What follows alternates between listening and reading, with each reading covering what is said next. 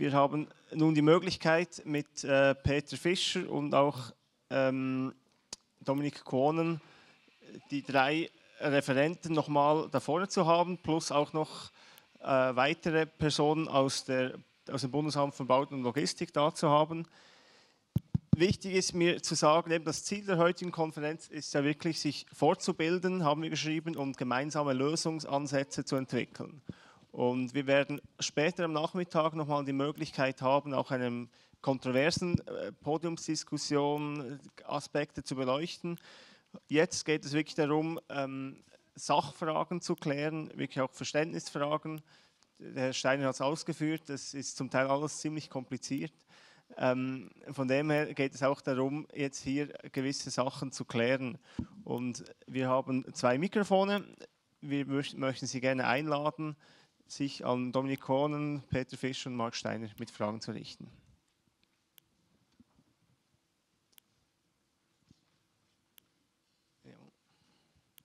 Ähm, können Sie noch schnell warten, bis wir das Mikrofon bei Ihnen haben?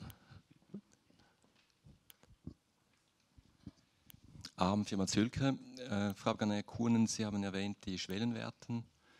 Wie sieht es aus mit der Dauer? Also wenn man eine Lösung beschafft, ist die, die Dauer nicht äh, von, von, Bedeutung. Wenn man aber ähm, Personalverleih, Ausschreibung macht, dann schon, oder?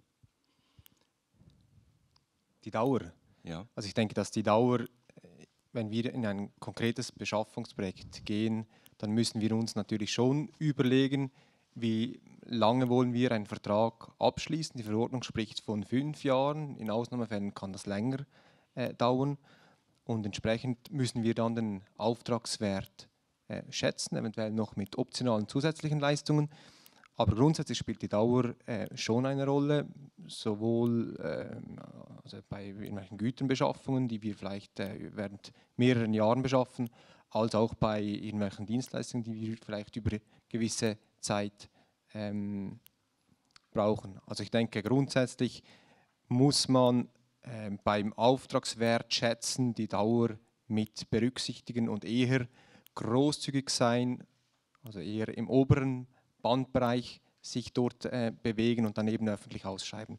Sonst ist man dann sehr schnell äh, bei einem Splitting bzw. bei Folgeaufträgen, wenn man zu kurzfristig denkt. Also ich denke, dass man dort wirklich, äh, dass wir dort eigentlich eine Praxis haben, wo wir weit in Zukunft vorausschauen.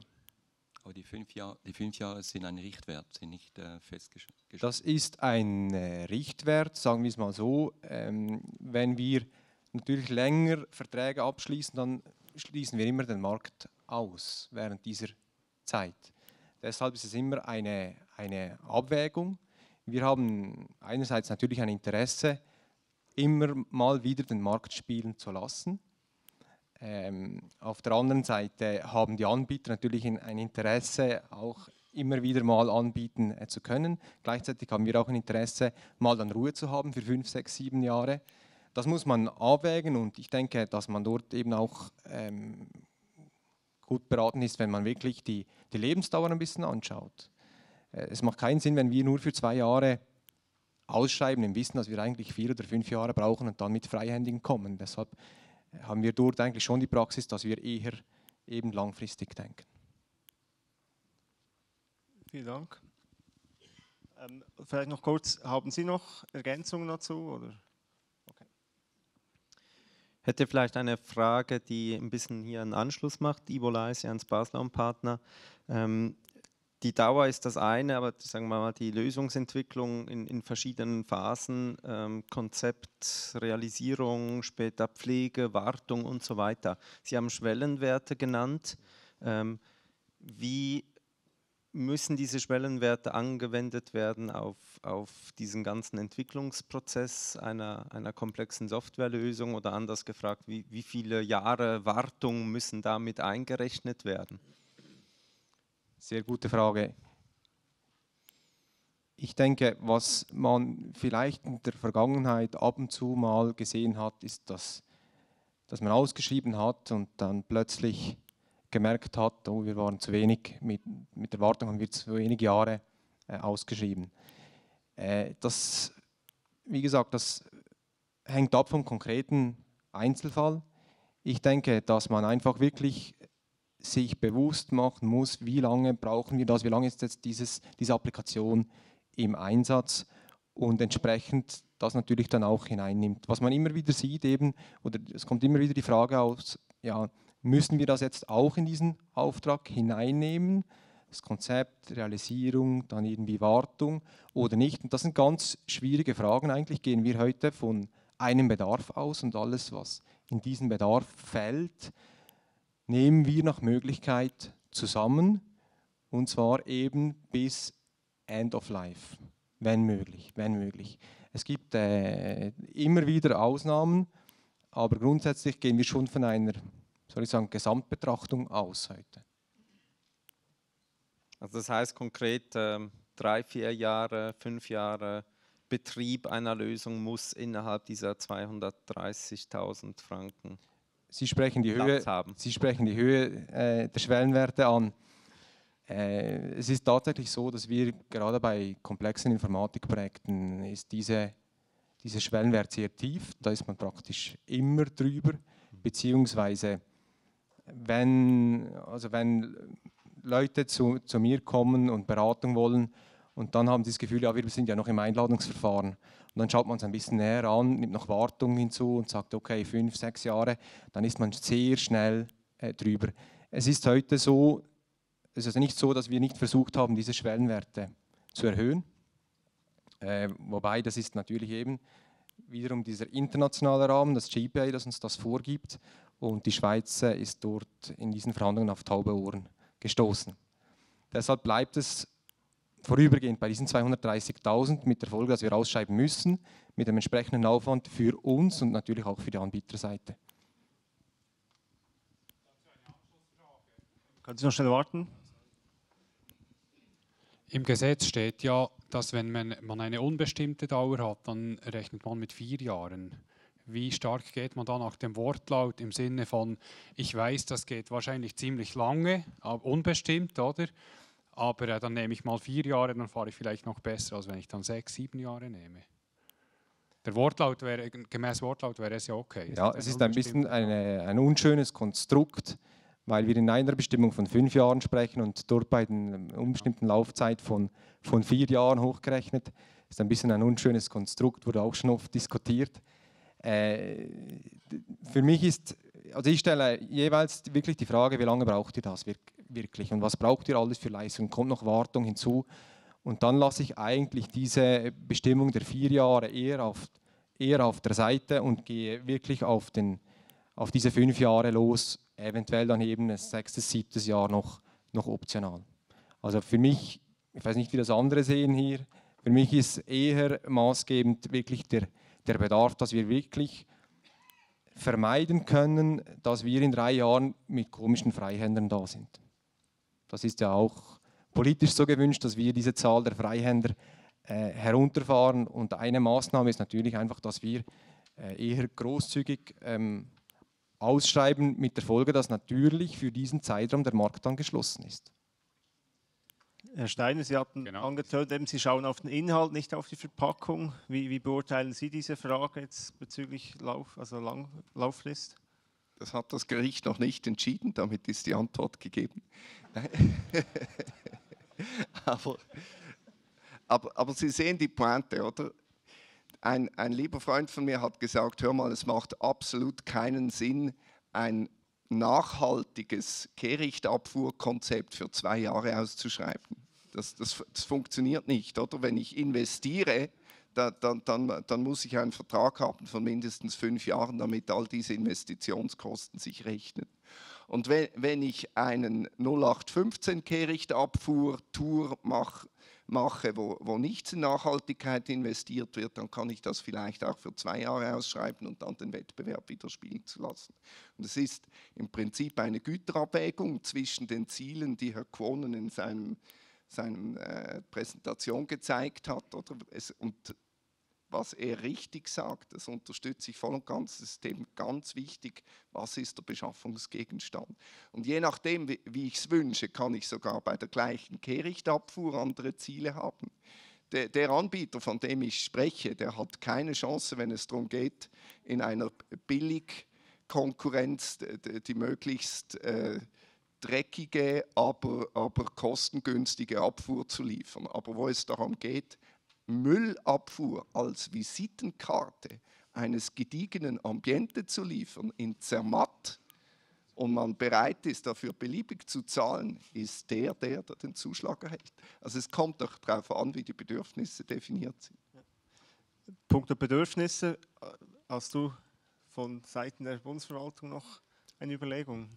Ja, vielleicht ein Punkt, den, den, ich zusätzlich noch versuche einzubringen, ist äh, gerade bei diesen quasi relativ kleinen Aufträgen, wo wir immer um die Schwellenwerte herum sind, äh, lohnt es sich schon, sich zu überlegen, im Voraus und nicht im Nachhinein, äh, was ist eigentlich trennbar. Denn auch die Bundesverwaltung hat das Interesse, wirtschaftlich zu beziehen. Äh, immer noch und weiterhin. Und äh, wir kennen ja die Modelle der Anbieter, dass man vielleicht für eine Lösungsentwicklung etwas knapp rechnet, weil man weiß, man kriegt dann über die Wartung wieder das eine oder andere rein. Oder umgekehrt, je nachdem. Ja. Äh, und äh, auf der Beschaffungsseite oder auf der Bedürfnis-, der Bedarfsstellenseite nach Orgfö, auf, der Bedarfsstellenseite äh, macht man sich natürlich auch die Überlegung, wie kriegen wir möglichst Wettbewerb in diese Angebotslandschaft rein und was lässt sich sinnvoll gruppieren und umgekehrt, was lässt sich sinnvoll trennen. Und da kommt es wirklich auf den konkreten äh, Gegenstand an. Vielen Dank. Noch ein, zwei Fragen und dann würden wir dann in die Pause übergehen. Ähm, Herr Steiner, Sie haben gesagt, ähm, Folgebeschaffung kann freihändig gemacht werden, wenn am Anfang eine korrekte Beschaffung erfolgte. Wenn nicht, was tut man als ausschreibende Stelle? Also das ist ja die Pointe. Die Folgebeschaffung, das ist einer der missbrauchsanfälligsten Bestimmungen überhaupt. Weil der, der Beschaffungsregulierer stellt sich vor, dass ich am Anfang etwas Großes kaufe und dann noch zwei kleine Sachen dazu nehme. Und das ist die Folgebeschaffung. Aber in gewissen Sektoren läuft es eben anders. Da hat man am Anfang relativ etwas Kleines und möchte dann passend dazu noch Accessoire, das dann aber viel mehr ist. Und da merkt man schon, da, da, da folgt etwas nicht der Logik dieser Norm. Das ist mal die eine Seite. Und die andere Seite ist die, dass wenn ich sage, ich möchte noch etwas Kleines dazu, dann sollte ich am Anfang mal anständig publiziert haben. Das ist das Konzept dieser Norm. Und wenn das nicht passiert, dann stellt sich die Frage, ob sich die Vergabestelle auf diesen Litra F berufen darf. Das heißt, wenn man sagt, die Vergabestelle darf sich nur dann auf Litra F berufen, wenn sie am Anfang anständig ausgeschrieben hat und sie merkt, dass sie das nicht gemacht hat, dann stellt sich die Frage, ob man nicht hier statt einem Freihänder ein anderes Verfahren wählen muss. Besten Dank. Vielleicht noch kurz als Ergänzung.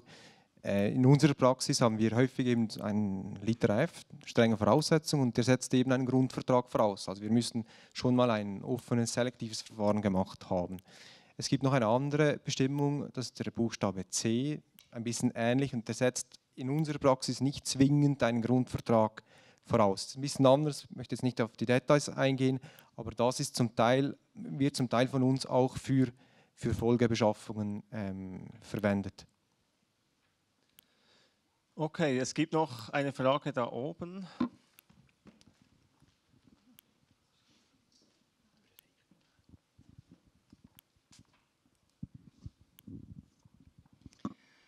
Aber genau bei diesen Folgebeschaffungen ist ja in der IT das besondere Problem, dass man eben manchmal mit der Erstbeschaffung schon Fakten schafft und man dann eben bei der Folgebeschaffung, ähm, wenn Sie jetzt sagen, ja, dann müsste man dann also ausschreiben, weil man es zuerst nicht richtig gemacht hat, dass dann eigentlich eben nur noch beschränkt möglich ist. Und wie kann man eigentlich rückwirkend, kann man so einen Fehler im Beschaffungsrecht nicht ausbügeln?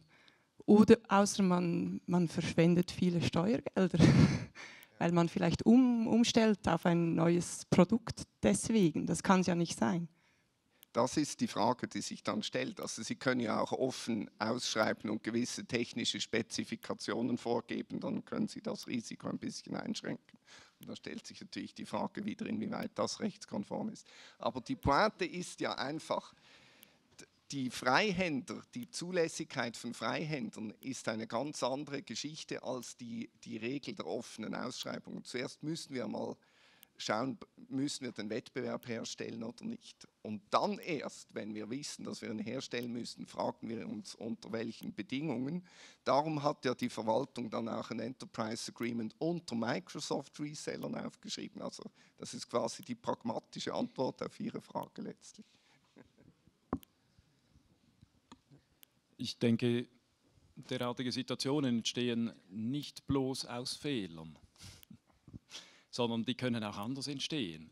Äh, man kann einen relativ kleinen äh, Ausschreibungsgegenstand ordentlich beschaffen in dem Verfahren, in dem es äh, notwendig ist. Und erst danach sieht man, was noch dazu kommen kann. Und manchmal ist das effektiv nicht voraussehbar oder zumindest nicht so voraussehbar, dass man direkt das Gesamte beschaffen könnte. Denn häufig sind das Schritte, die man durchwandern muss, bis man so weit ist, dass man wieder konkret den nächsten Schritt genügend fassen kann, um ihn in die Beschaffung zu geben. Und das ist eine, eine kleine Krux, mit der wir, glaube ich, noch nicht ganz zu Boden gekommen sind. Okay, gibt es noch letzte dringende Frage? Okay. Sorry, I'll do this in English because I understand the talks, but my German is not that good that I can ask the questions in German as well. Um, uh, there's one thing that comes from the three talks, and I was wondering, are you familiar with the concept of exit costs? Because when you do procurement, um, you can you can figure out the cost that it will take you to get out of the problem that you install, and that would make give you room to change to an alternative solution later on.